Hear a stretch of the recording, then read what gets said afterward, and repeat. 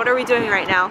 We are taking some content for Chrome, the publication, poetry publication. This is the fourth version of Chrome, my poetry book. I actually turned it into a poetry publication, very similar to a magazine. This version probably has the most personality in it simply because I was less confined. There's a lot of formatting that's involved with the book and alignment and all of these things that you need to consider, but with this version, I made it more like me and the way that I wanted to see my poetry being presented. Reading Thank you. Special mentions, Johnny. To have a classic master. Thank you for, Thank your, you for friendship your friendship and helping us create the rolling shots over the Sydney Harbour Bridge. So Johnny actually drove his car with Gelica in it, which is how Gelica took the rolling shots of me and my car over the Sydney Harbour Bridge, which is in Chrome. Oh yeah, best car here.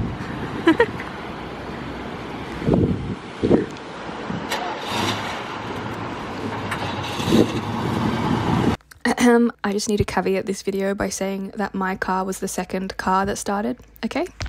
Every time I flick through the Chrome poetry publication version, I'm seriously in awe of how beautiful it really is. And I'm probably biased by saying that, but it's okay. I do truly love it. Anyway, we are driving to our next destination, which is a fine dining cuisine. Alright, guys, we made it to Harry's Cafe de Wheels. We've got Johnny's car mine, Angelica. And uh, Gelica said she wants to eat 10 hot dogs. Is that true? 20. See what Johnny's up to. Right now we're checking if there's blinker fluid. All good? All good, Johnny? All good. Yeah, okay. I want a thick shake. Yeah, same. Thick shake. Extra thick. Extra thick. Just how we like it. Wait a minute, so Gelica and I just fought over the bill and then what did you say, Johnny? More shout. You see that? Oh yeah, that looks really cool. Yeah, I think hot dog. This bad boy. Not too much. Can I have onions on mine? Onions? Yeah? Don't worry guys, I said thank you. Here is Johnny trying to sell my car to these young gentlemen. It's free advertisement, guys. He knows how to market.